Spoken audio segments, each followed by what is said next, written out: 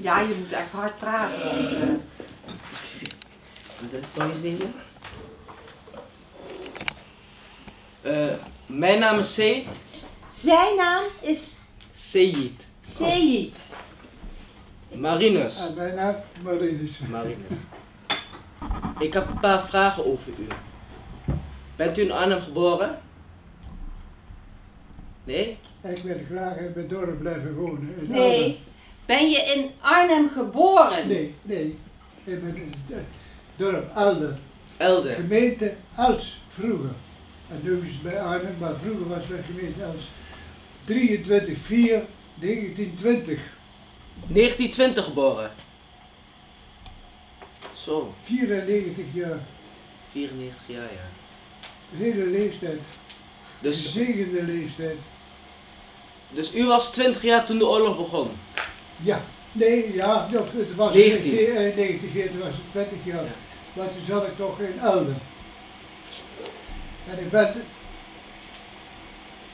al die jaren, 41, 42, 43, heb ik de oorlog van meegemaakt, maar ik ben, woonde toen nog in Elden. En in 44 moest heel Elden weg, evacueren. Helemaal, allemaal. Maar ik woon niet. Waarom niet? Ik woon niet weg voor die moffen. En de buurjongen die komt eraan en die zegt tegen mij, wat blijf, maar, waar ga je naartoe? Ik zeg, ik blijf hier. Mijn ouders gingen weg, mijn broers, mijn zusjes gingen allemaal weg, maar ik woon niet. En mag ik bij jou blijven? Ja, dat mag. Ik zeg, maar op eigen risico. Dan gaan we naar een neef van hem op de Huisse Die kende, ik kende de hele. We zijn er naartoe gegaan, kon ik daar in huis blijven. Maar na zes, zeven dagen moesten we daar ook weg. En ik wou niet weg. Er was er in de polder, dat was, nou is het helemaal arms uit, maar het was vroeger allemaal polder. Daar had ik de koeien nog van gemolken. En in dat huis waar we zaten, zat een Duitse officier. Was geen slechte, Nee? nee. Was geen Hitlerman. En daar heb ik handel mee gedreven. Wat voor handel? Ik ging koeien melken en van de andere melk wat over ging ik karnen, kreeg ik roomboten. Dan kon die Duitse officier boten krijgen en melk krijgen, maar dan moest ik brood hebben. En dat kreeg ik. Ik kreeg zo'n kuch. Duitse brood. Duits brood. Was, was echt wel lekker hoor, het niet. En dat had een hele tijd geduurd. Toen moesten we toch weer weg. Er kwam er een Duitse SS en dat waren gemene mensen. SS. Heel erg. Die stond met de Duitse binnen stunde weg. En ik was net bezig aan de varken aan het slachten. Toen vroeg ik of ik het klaar mocht maken. Ja, dan mocht ik wel klaar maken. Maar ja, ik had er niks aan. Ik had wel niet een stukje vlees eruit gehaald. Toen zijn we naar de dijk gegaan. Toen we daar weg moesten, zijn we naar de polder gegaan. In de hoogste wei. En er was een hol. Staat in het, in het boek. Staat het hol erin. Nou, de tekening van. Dit bent u. Dat ben ik, ja. Dat is het dagboek. Dit is een dagboek. Nou, Dat is ons huis. Dat is in brand geschoten. Kapotgeschoten door de... Ja, met de raketten. Gena ja, en dat is het huis wat ik had. Even zoeken hoor. En dat, dat heb ik nog bij me. Dat heb ik bij me. Dat zal ik ze eens voor laten zien. Oké. En wat betekent dit? Dat is de eh, luchtbeschermdienst. Heeft u daarin gezeten? Dat, ja, dat heb ik nog.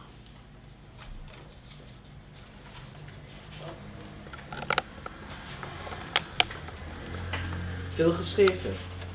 Ja, er staat een, foto, een, een tekeningetje bij van dat, eh, waar hij gezeten heeft onder de grond. Maar ik weet niet precies waar het zit. Deze. Juist. Dat is het hol. Heeft u hierin gezeten? Hoe lang? Zeven weken. Zeven weken zonder naar buiten te gaan. Ja, s'nachts. Oh, s'nachts. S'nachts mochten we eruit om de behoefte te doen. Want overdag komen die weg. Want 100 meter van het hol zaten de moffen. Dus op de dag mocht ik daar me niet, eh, me niet laten zien. En s'nachts waren daar vlakbij volkstuinen. En er was een pomp. Daar kon ik me gaan wassen. En dan had ik fris water. En we hadden in het hol zo'n klein kacheltje. En daar kon ik op koken. Dus we hadden groenten zat. En overal liggen dode ko- koeien. En ik was maar snijden. Dus ik had alle dagen vlees. Lekker toch? nou, met hoeveel man zat hij daarin? Met z'n drieën. Oh, De buurjongen met zijn neef. En daar hebben we zes, zeven weken hebben we erin gezeten. En toen was het met water, toen moest ik weg. En ik wist niet waar mijn ouders waren. En ik wist niet waar mijn broers en mijn zussen waren. Maar ik had een broer wonen op de Apeldoornseweg op Moskou. hierachter. Ja. En of dat hij er nog woonde, dat wist ik ook niet. Maar goed, we moesten weg. Uiteindelijk gaan we de brug over, want de brug was kapot. Toen was het met een pontje over. Maar het pontje was ook kapot. Als het klaar was, dan mochten we overvaren. En toen was het om half twaalf was het klaar. En toen mochten we overvaren. En dan kom je in een lege stad. Arnhem. Het was helemaal leeg. In het centrum. Overal moesten we, ja, we moesten naar de Apeldoornse weg toe. Dus liepen door het midden door het centrum heen. Je weet niet wat je overkomt. Allemaal kapot gebouwen. Hele hoop zakken hopen pu- puin en alle ramen kapot. De spullen lagen op straat, kleren, stoelen, maar op, alles leeg op straat. En uiteindelijk zijn we naar boven gelopen. Komen bij het viaduct op de Apeldoornse weg. Toen zeg ik tegen die twee, als ik een lichtje zie branden, dan is mijn broer er nog thuis. Zie ik geen lichtje, ja waar moeten we dan naartoe? Helemaal naar Beekbergen gelopen. Doe maar naar Beekberg. Uiteindelijk, ja, Dat wij- zijn het viaduct over. En beneden in de verte zie ik een straaltje liggen. Ik zeg, hij is thuis. Dus goed, wij lopen de brug over en ik klop aan de deur. Mijn broer doet open. God, Rien, zeg ik, waar kom jij vandaan? En dat hoort mijn moeder. Die was er ook. Mijn vader was er, mijn zussen was er, mijn broers waren. Mijn moeder die komt naar me toe, die vliegt me op de hand. Ik dacht dat je dood was. Ze had steeds gevraagd aan al de evacuees die voorbij komen uit Elden, heb je wat van Rien gehoord? De ene wist te vertellen, ik was gewond. De ander wist te vertellen, ik was gevangen genomen. En de derde maakte het zo bruin, ik was doodgeschoten. En dan sta je voor je moeder. Kijk, indenken hoe dat de ontmoeting was. Huilen en vreugde van vreugde. Uiteindelijk zijn we daar drie dagen geweest. Toen zijn we naar Schaarsbergen gegaan. Ik had een kennis hier op de Geitenkamp zitten. Dat is later, dat was een vriend van me. is later getrouwd met mijn zus. Het was Anto Verzanten. En die had hier zo, op de hele Geitenkamp, de leiding, die was blokhoofd over de luchtbeschermdienst. Met Jan Bovenkamp van de Krijnenweg nummer 24. Die twee hadden hier de hele Geitenkamp onder het beheer. Het noodziekenhuisje wat er was het vroeghuis, wat ook bekend staat allemaal beschreven, was, eh, daar, daar was hij heer en meester in. En uiteindelijk, ik ging, doordat ik met de luchtbeschermdienst was, ging ik overal rondlopen op de Geitenkamp, wat er kapot geschoten was van de granaten. Want het, af en toe regende het granaten. Ongelooflijk. Dat zelfs mijn broer, oudere broer, die staat in de deurgat en je wordt getroffen door zo'n stukje scherf. Tot op bot toe. Het bot beschadigd. Hij is er later wel even niet mee geworden. Eerst moest de arm eraf, maar uiteindelijk is de arm stijf. Hij kon dat niet meer doen. Hebben ze in Nijwegen, want hij mocht niet mee. In Nijwegen hebben ze dat vastgezet. Hebben ze hem zo opgesneden en altijd bij de kant. Er kwam er niks anders een eruit. En dan was die jongen een beslissing alleen nemen. Arm eraf of niet eraf. Dan had hij de arm vastgehouden zo. En hij had een schilderszaak. Maar hij doet er niet toe. Uiteindelijk eh, zijn we daar vandaan. Op de Geitenkap zijn we doorgegaan. En heb ik overal rondgelopen. En alles wat er verkeerd was, En toen kom ik in het noodziekenhuis en ben ik weer verslag uit. Toen zegt ik, zal het jou maar niet vragen. Ik zei, wat is er te vragen? Hij zei, er ligt hier een vrouw op sterven. Die moet bevallen van de tweeling. Als er geen medicijnen komt, gaat ze dood. Die medicijnen konden we alleen krijgen bij het Duitse Rode Kruis. Maar dan moesten we een verklaring hebben van de RSB-burgemeester. En die zat op de Bronbeeklaan op de Paasberg. Daar beneden. Ja, dus toen moest ik daar naartoe. En ik ben er naartoe gelopen, ben ik net onder in dat dal, krijg ik een granaataanval van vijf minuten. Ik heb gegild, ik heb gebeden, ik heb ge ges geschreeuwd, ik heb alles gedaan. Uiteindelijk na vijf minuten, het, de grond viel op de rug. En dan schrik je, je eigen dood. Uiteindelijk is het stil, ik ben er voor een holletje gelopen naar de RSB-burgemeester. En waar kom jij vandaan? Zeg van het. Ben jij de granaatvuur geweest? Bekeer je niks? Zegt, daar kom ik niet voor. Waar kom je er wel voor? Ik zeg, alsjeblieft, jij het briefje. Iemand die zoveel lef hebt om door het granaatvuur hier te komen, teken ik ongezien. Dus hij tekent, die moeder is gered, die tweeling is ook gered. En met die tweelingen heb ik nu nog contact mee. Dankzij u. Ja.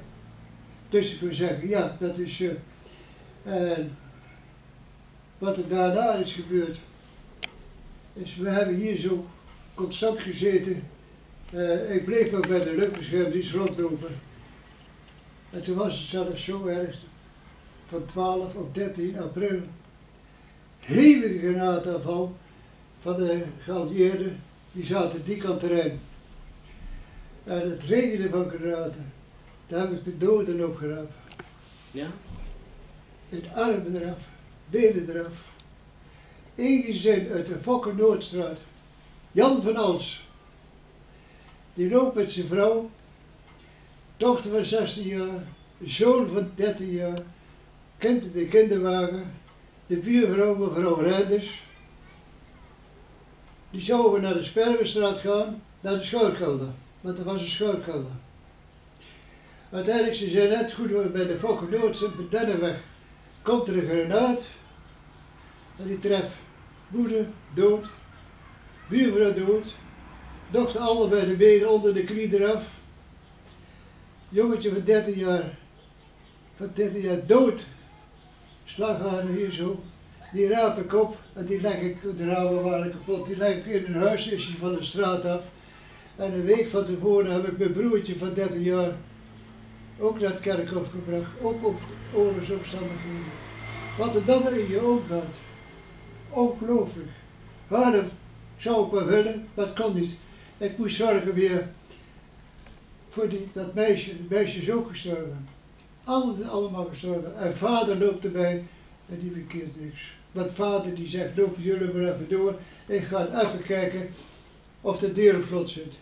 En dat redde zijn leven. Heel toevallig had moeder of vrouw tegen de man gezegd, als mij wat ooit overkomt met de oorlog, trouw je met mijn zus. Die leeft nog. Uiteindelijk, zij was dood. En hij is getrouwd met de zus. Die heeft weer drie kinderen gekregen. Die heette weer Joke, Herman en Jan. Naar de namen van die mensen die Van overleden die zijn. overleden allemaal. En met Jan, daar heb ik nou nog contact mee, die zit in Reden. De oudste ziek van, van dat. Ongelooflijk hoe dat de samenloop van omstandigheden kan lopen. Dat is niet te volgen. Nee. Maar ik heb dagen gehad doodsangst uitstond. Maar doordat er nog meer gewonden is, op de Beugelaan, mevrouw Bakker, 83 jaar. Ik komt er naartoe, de op straat. Ik zeg, mevrouw, waarom bent u buiten? Je weet toch dat het zo was. Oh meneer, zus, het is zo gevaarlijk met schieten. Ik werd zo bang. Ik ga even naar de buren troost zoeken. Net dat kleine stukje op straat. En zo zijn ze allemaal, die gestorven zijn, uit angst en hulp zoeken naar vrienden en kennissen die op straat waren, zijn getroffen. Ze zijn allemaal gestorven. Die zijn 19 slachtoffers gevallen. En er was eh, één EHBO in het Noordziekenhuisje, Appie Kramer. Ze- eh, 21 jaar. Die jongen had verschrikkelijk veel werk gedaan in het Noordziekenhuis. Op een gegeven moment brengen ze zijn oudere broer brengen ze binnen. Arm draf, dood. Kan je je voorstellen wat, wat die jongen bekeerde? Hij had gegild. Gegild. Waarom moest het dan gebeuren? Er zijn zulke trieste dingen gebeurd. Komen bij mij nog steeds voor de geest. Dat raak ik nooit kwijt. Maar ik heb ook drie mensen het leven gered. Die moeder is gered en die tweelingen zijn gered. Ja. Dus dat is voor mij de allergrootste troost die ik heb. Dat ik drie mensen, ondanks al de ellende, het leven heb kunnen redden. Zat u bij de ondergrondse? Ja. Ik zat er ook bij. Niet als vooraanstaande, maar een beetje zei, ik gaf allerlei berichten door. En dat heb ik eh, al die tijd want ik heb van alles gedaan in de oorlog. En vooral in 1944. Ik was, eh, mijn vader had het vroeger eh, transportbedrijf van de vrachtauto. Maar die is gevorderd door de Duitsers. Toen kreeg hij in 1943 kreeg hij vergunning tot paardenwagen. En van het ministerie van minister van Landbouw mocht ik aardappelen vervoeren, mocht graan vervoeren, mocht vlees vervoeren, mocht alles vervoeren. Niemand anders mocht maar dat mocht ik wel. En ik heb er ook gebruik van gemaakt. Er waren mensen bij die eh, stiekem waren, hadden geboot en die hadden duur verkocht. Die heb ik weggebracht, want ik mocht vrij over straat lopen met, met dergelijke dingen meer. En dat heb ik al die tijd gedaan. Totdat het 94 heel 44. Elden weg moest, dus wij 44. moesten weg. Toen heb ik eerst in Schaarsbergen gezeten. En op Schaarsbergen na een dag of tien, samen met mijn broer Theo, moesten we werken voor het Duitse Rode Kruis. Nou vond ik dat niet zo erg, het Rode Kruis, of het Duits of Frans is, dat maakt het het is het Rode Kruis. Dus dat kon het me niet schelen. Dus we hebben daar dozen moeten verpakken met verband, zoeken allemaal, apart zoeken allemaal los op de Jozef Israël aan op de hoogkamp. En na 14 dagen, toen werden we erop uitgestuurd, door de, de, de leider daarvan, om dan brandstof te zoeken. Want er was geen kolen meer. En mochten wij dan in al die villa's gaan kijken of er onder in de kelder een antraciet of kooks of eidenkolen of briketten was. Nou goed, mijn broer en ik, we gaan op pad. We zijn zes, zeven woningen hebben we gezocht, allemaal villa's op de hoogkamp. En we komen van de achtste villa, komen we de trap op. En staat er een bof. Du bist aan het rauzen, komt u maar met.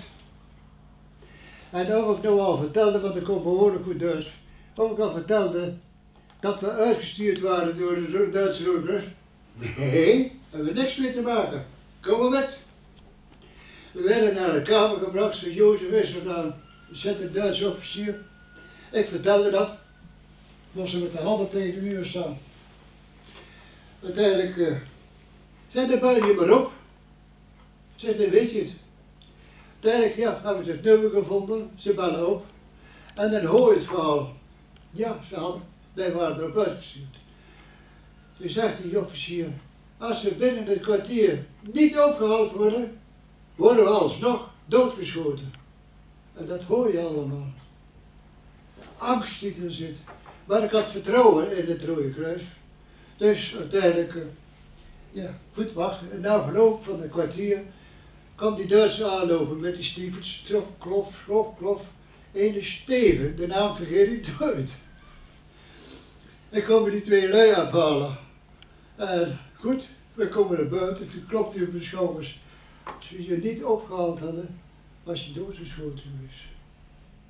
Kan je je daar voorstellen waar, wat er dan in je omgaat? Nee. Dat kan niemand zich voorstellen. Niemand. De angst en de blijdschap die je overtroeft. Ongelooflijk. En ook het eerste toen we Eldenweg mochten en we komen daar zo op de Apeldoornse weg. dat ik zeg, ik vind mijn ouders terug, mijn zus mijn- en een paar broers van me. Ongelooflijk als je dat, de ontmoeting hebt. Ik heb ontzaglijke mooie dingen meegemaakt, maar heel veel slechte dingen. En ik heb ontzaglijk veel angst uitgestaan. Ik heb vaak gegild, gegild. Maar ik heb altijd enig vertrouwen gehad op de hulp van boven. Ik heb de Heer vaak genoeg aangeroepen, Heer help me en spaar me hiermee. En ik ben verhoord.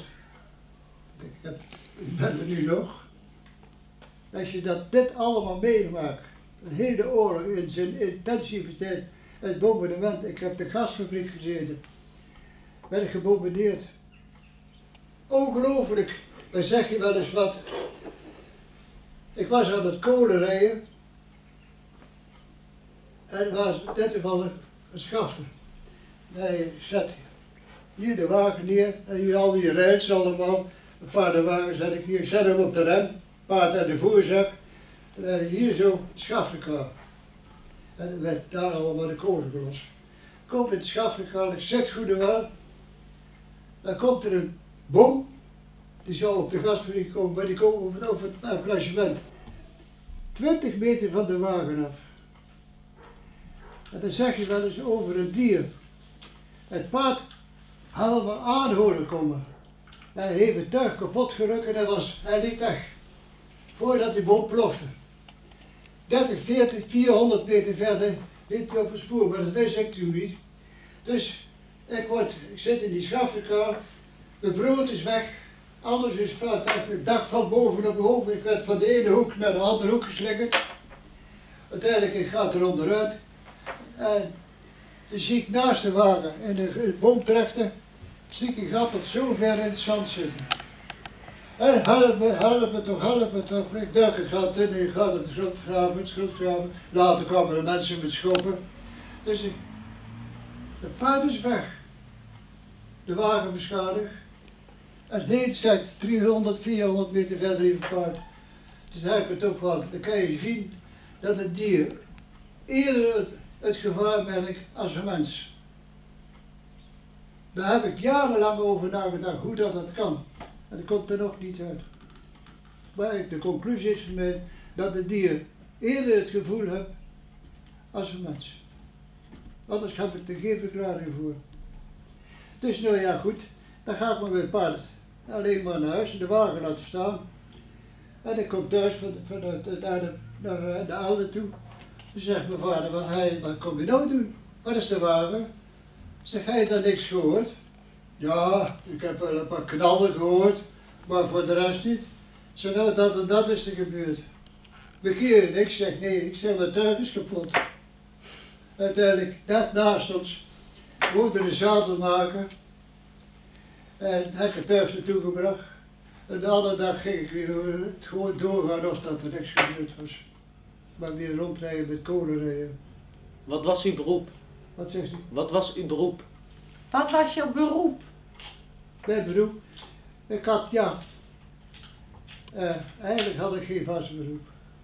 Ik had graag, mijn ide- ideaal was piloot te worden. Piloot? Piloot worden? Nou, dat ging natuurlijk niet, want hij had geld voor nodig. En ja, doordat ik een maandje van alles was thuis, want ik had acht broers en twee zussen. En mijn vader had een hele grote kwekerij.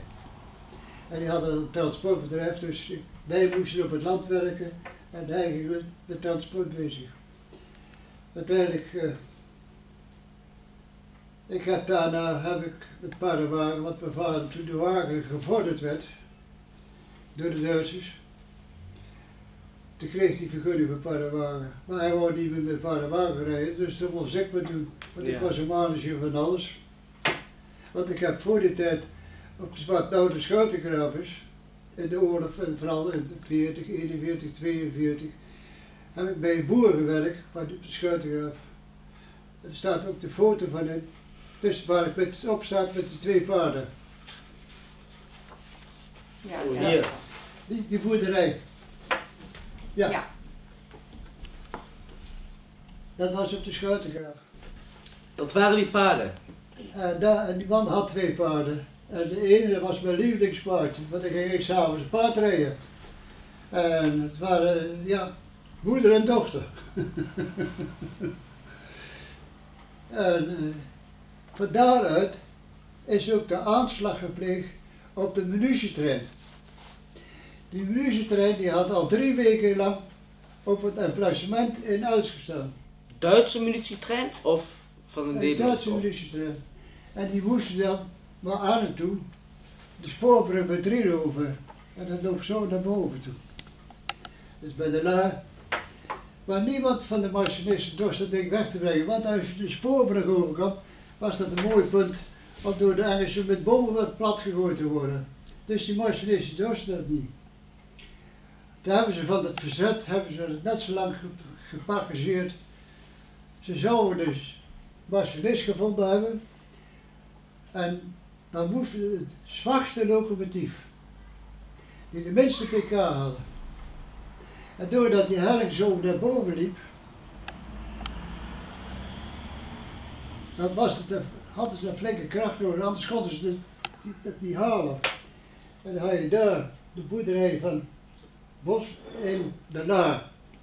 De Laar hier zitten. En je hier de boerderij Overeen. van, Overeen. van Overeen. Ja. En in die bocht van Overeen, daar is de aanslag gepleegd door het verzet. Er was een klem nog van een 4, 5 meter hoog. En de, de munitie en de dynamietblokken na de bevrijding heb ik nog gevonden. Ja? Dan ben je nog twee of drie, maar dat hadden ze niet nodig. Dus het hele stuk spoorlijn, dijk en alles is weggeslagen. En wat bleek? Die boer was erbij betrokken, met zijn zus. Die woonde daarbij, die was getrouwd. Ze zei broer tegen zus, zie zo, die kunnen geen kwaad meer doen. Er waren 130 vliegtuigbommen die ze naar Denen wouden hebben. Dan konden ze van Denen, de, de moven, konden ze door Engeland mee boven delen. Dus dat ging mooi niet door. En ja, dat zijn nou even dingen die je meemaakt. En nu, zo is Schuitengraaf is allemaal veranderd. De eigenlijke boerderij van de Schuitengraaf was, was helemaal verderop. En die heette de Schuitengraaf. Maar wat daar gebeurde van nou het station is van eh, de Schuitengraaf, was het anders allemaal. Maar we konden niet verderop, want verderop zaten de Engelsen en aan deze kant zat het spoorlijn zaten de moffen. En ik vergeet nooit dat 21 ve- eh, oktober, ja, ja 21 oktober, waren daar zo, nee 21 sep- september, eh, zep- ja 21 september, waren 19 Poolse krijgsgevangenen gemaakt. Toen zaten we nog thuis in het huis en mijn vader die sliep al in de hol. We hadden een hol gemaakt in onze woonkaart. En mijn broer en ik, Cor en ik lagen in het huis. En beneden zaten de moffen. En we zaten boven. En werd voor het huis, dat waren, werden de krijgsgevangenen geteld. 19 stuks, 19 Poolse krijgsgevangenen. We zijn afgevoerd natuurlijk, waren toen nog weet ik niet. Werkkampen. Ja, dat zijn dingen die af en toe nog wel eens voor de geest houdt. En doordat ik met de bevrijding hier op de Geitenkamp rondliep, want ik heb veel nuttige dingen gedaan. Ik heb ook de mensen begraven op het plantsoen tussen de Roosendaalse weg en de Pieserstraat. Hij een groot gazon. En hij hier helaas Hof. Ja. Hier zijn ze begraven. 19 stuk tijdelijk. Ze laten allemaal herbegraven. Heeft u dat gedaan? Ik ben er wel bij geweest. En ik heb ook bij Larishof met haar ook de eerste krans gelegd. Dat was een hele emotionele dag voor mij. Had u een vriendin? Ja, op de Geidenkamp heb ik wel een poosje verkeering gehad, maar het lukte niet. Doordat ik in 37 een vriend had op de Geidenkamp. Op de Verzandplein. En wij hebben tijdens dat we op de geitenkamp gewoond op de Verzantenstraat, nummer 37 gewoond, net tegenover het Verzantenplein. Maar mijn vriend, zijn vader was koloniaal. Sorry? Koloniaal, ja, die Eh. kwam uit, eh, uit Indonesië. Oh. Die hebben in Nederland Land. En die was getrouwd met een Indische vrouw, een schat van een vrouw. En die had graag gewild, want ze hadden daar een dochter, hij had ook een zus, dus een dochter en een, had drie broers. Verleden jaar is de laatste gestorven. Maar die had niks gedaan, die wou niks weten.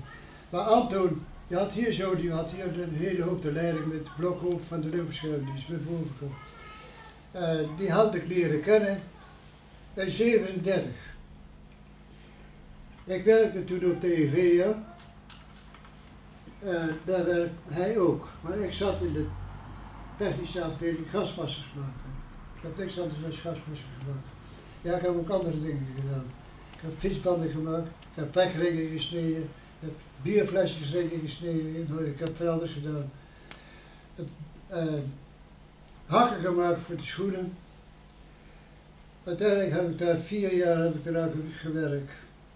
Maar toen heb ik hem leren kennen. Ik was bij de technische afdeling, maar ik had kennissen uit Oosterbeek. Die zat in de bankwerkerij. Maar je bent een boerenjongetje en je komt op een fabriek te werken. Kan je je voorstellen waar je je dan in voelt? Vrije natuur, je zit nou tussen de vier muren. Gevangen. Uiteindelijk, doordat ik met de maskers bezig was, eerst moesten we de, lege maskers opbouwen. Eh, ik moest de, oogglazen erin zetten, die waren zo groot. Dat was een heel karwei, een stuk canvas. Uiteindelijk, ja, later had ik te snappen, maar ik had de blaren op de duimen zitten. Eh, later heb ik ander werk gehad. Maar daar leer je allerlei mensen kennen.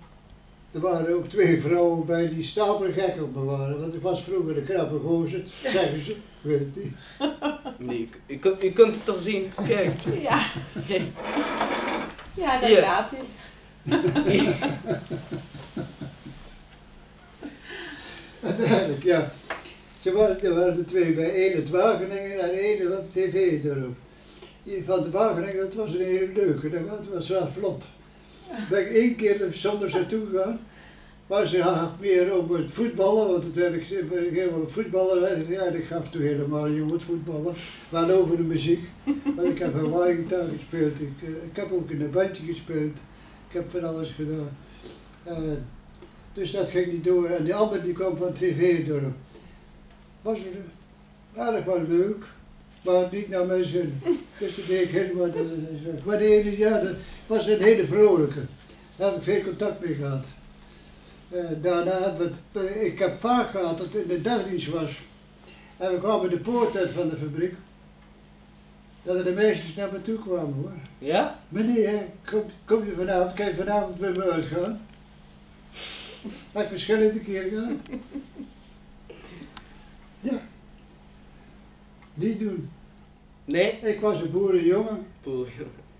Het interesseert me niet om met een meisje uit te gaan. Tegenwoordig is dat anders, maar toen niet, toen was ik 18, 19 jaar. Het interesseerde me niet. En uiteindelijk, ja, dat is de opvoeding die je krijgt. En ik heb twee acht broers en twee zussen. Dus er kon niet van alles gebeuren. U was de jongste. Nee, ik was de zevende. Oh, zevende. Dus ik had er zes boven me en de rest onder me. Onder was maar één broer en twee. Ja, twee, twee, twee broers. Eén is op 13-jarige leeftijd gestorven. Ook een triest verhaal. Hij valt uit een boom en hij raakt in coma. En ze waren toen geëvacueerd op de Woeste Hoeve. Mijn broer Henk en Giel zaten daar zo. En daar was hij bij. Uiteindelijk is hij naar het noodziekenhuis gebracht op Binkbergen. Dan komt hij daar, het ziekenhuis ligt hij daar, en bleef van buiten kennis. Maar er was geen dokter. Wel verpleegsters, maar geen dokter. Dus zijn mijn broer en ik, ah nee, mijn broer en mijn vader zijn op zoek gegaan naar Beekbergen, naar een huisarts. Want hij bleef van in coma. Uiteindelijk na veel zoeken komen ze bij een huisarts. En ja, Mijn broer die zegt, zo en zo is het geval. Ik heb een broertje, die ligt in het ziekenhuis. Kan je even komen kijken? Zoek maar een geëvacueerde dokter. Dat had hij nooit mogen zeggen. En de oorlogsomstandigheden had hij niet mogen zeggen. Maar goed. Dus ja, mijn vader en mijn broer, die dropen af. Maar de andere dag was het toch hetzelfde. Mijn moeder zat al bij het bed. En mijn zussen zaten bij het bed. Uiteindelijk ging mijn vader en mijn broer er weer naartoe. Kom weer bij de huisarts. En weer gevraagd. En mijn broer die had hem bij de jas gegrepen. En als hij nou niet meegaat, sta ik hier in elkaar. Oh, als ik dat zo moet, dan zal ik wel meegaan. Hij gaat mee. Hij onderzoekt mijn broertje. Het duurde ongeveer anderhalf uur. Toen kreeg hij de boodschap. Hij heeft nog twee uur te leven. En met twee uur was Theootje dood. Kan je je dat voorstellen? Ongelooflijk. Ongelooflijk. Ik kan er nog wel op janken. Dat is echt. Het is zo triest geweest. En is die begraven tijdelijk in Loenen. En wij zaten nog op de geitenkamp. En ik had een fiets. En ik heb mijn moeder achterop gehad. Om helemaal van de geitenkamp uit naar Loenen te fietsen. En de begrafenis bij te wonen. En we komen terug, hij is begraven.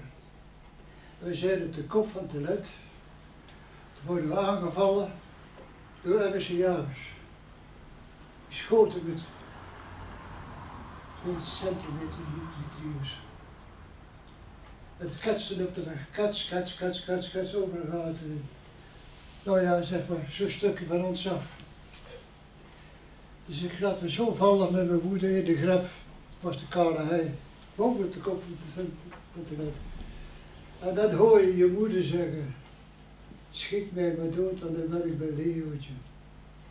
Kijk, is er wat dat ingrijpt. Ongelooflijk. Dat je moeder verlangt naar een kind. Ongelooflijk. Er zijn zoveel dingen gebeurd. Dat is niet te begrijpen dat de mensen het allemaal kunnen verdragen. Echt, dat is, dat is onmogelijk.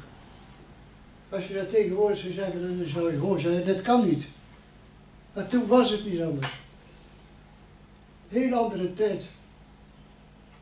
Vandaag is alles gemoderniseerd en alles veel beter geregeld, zo maar zeggen. Maar vroeger was het allemaal, ja. doe maar, wacht maar af. Ik heb ontzaglijk veel angst gehad. En dan, ja, dan krijg je dan de bevrijding en dan moet je terug. Maar het huis is weg. Mijn vader had een, een kwekerij van twee hectare groot. Er stonden druivenkas op, er stond van alles op. Kersenbomen, de hele bomen waren de kroon eraf geschoten. De druivenkassen zat geen ene ruit meer op. En dan moet je overnieuw beginnen. Geen huis, een schuurtje, de helft hiervan. Dan moesten we in slapen in de stapelbedden. Mijn moeder was buiten koken, kon binnen niet. Op hout.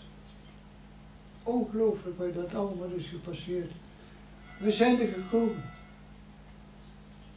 Alleen het koppig volhouden. Ik had een verschrikkelijke hekel aan die moffen. Verschrikkelijke hekel. Ik heb ook veel dingen gedaan tegen die moffen. En vooral in de oorlog met kolenrijen. Als we bij de Duitse instelling, en vooral de SD, Sicherheidsdienst, het waren gemenen. Konden ze doodschieten, lieten nog liggen ook nog. En die zat op de Utrechtse weg. En dan moesten we soms met twee of drie voerluien, moesten met z'n om de beurt een hele vracht met kokos brengen. Daar hebben we eens onderling afgesproken. Jij gaat er tussenuit. We hadden wel planten bij die voor alles konden gebruiken. De hele wagen met kooks werd verkocht. Onder elkaar verdeeld. Uiteindelijk bij andere instellingen, als het kooks was, dan hadden we van die hele grote manden. Dan gingen we naar arme mensen toe die in de stad wonen. We hebben wat kolen voor je.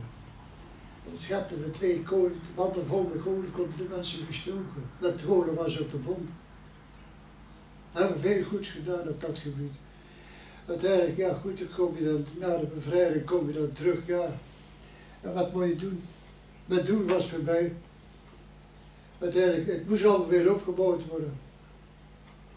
Uiteindelijk, dan ga je thuis werken. En het is niet je doel, maar je doet je best. En dat heeft ook geluk, daar gaat het niet om. Ja, ik denk dat wel eens vaker aan die tijd hoor. Wat uiteindelijk, ik heb het bombardement meegebracht op de gasfabriek. Verschrikkelijk, dat zit. Dat raak je nooit kwijt. De angst. En ik heb na de bevrijding twee keer over in een mijnenveld gestaan. Wat vrijgegeven was. Ook op het Schuitengraaf. Die boer die kwam me helpen, de, kwam in de, na de bevrijding. Kan me komen helpen, want uiteindelijk alles was, was naar de knoppen toe. En toen zegt hij tegen me, er zijn drie Duitsers geweest die hebben zich overgegeven vlak voor de bevrijding. Jo, ja? Ik heb ze burgerkleding gegeven. Zeg maar, hij de, de karabijn, want Duitsers hadden allemaal karabijnen. Konden ze vijf schoten of zes schoten konden ze tegelijk aflossen. Hij in de sloot gegooid. Vlak voor het huis. Als ze daar geschaften. Toen zegt hij, toen zei ik tegen hem, zeg, waar hij ze neergegooid? Hij zegt, hier in de sloot. Ik loop zo van het pad. Loop ik door naar de sloot en ik had een hak bij om het onkruid te hakken. Dus ik had graaien. Ja, ik had er een. Nummer twee. En de derde staat met de benen. zo. En mijn, tussen mijn benen in. Zegt tegen die boer, ze blijft staan. Ik zeg, wat die zit hier mijne. En ik even zitten buigen. Daarin, daarin. Allemaal met ijzerdraad aan elkaar verbonden. Als je er één hebt, het ze allemaal. Dus er blijft niks meer van je over.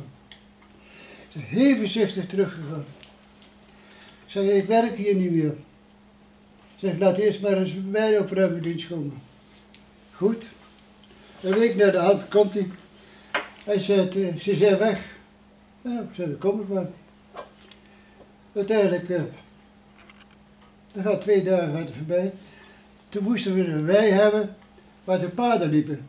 Maar dan moesten we naar de andere kant, hier de sloot, en hier de boerderij, moesten we daar die wei in. En de kijkzijde zo, stak naar mijn tweede keer in, tussen de. Je heeft geluk. Nou is het afgelopen, zei, nou kom ik niet meer. Het zeg ik, het is maar, er zijn zoveel dingen wat gebeurd is. En dan realiseer je toch wel degelijk dat de kracht van boven hebt dat je gespaard blijft. Maar in ieder geval, hij had een kleine indruk, een hele kleine indruk wat oorlog is. Maar het is zoiets verschrikkelijks. En ik hoop dat het nooit, nooit, nooit, nooit gebeurt. Want ik zie dat wel eens vaker op s'avonds op de televisie, hier oorlog, daar oorlog. Dan denk ik wel eens, en vooral kinderen, die daar de dupe van zijn. Die onschuldig sterven. Ik heb het met mijn eigen ogen gezien op de geitenkamp. Dood allemaal. Armen eraf, benen eraf. Verschrikkelijk. Ja. Dankjewel voor het interview. Wat zegt u? Dankjewel voor het interview. Graag gedaan. Oh god, ik zou je wat anders uit zou Dat boek mag je houden. Mag ik die boek houden? Dat mag je houden. Dankjewel. Ja, wel, hij zet zijn, hij zet handtekening. Nou, kijk. En ik hoop dat je heel veel leesplezier hebt. Ik ga hem zeker lezen.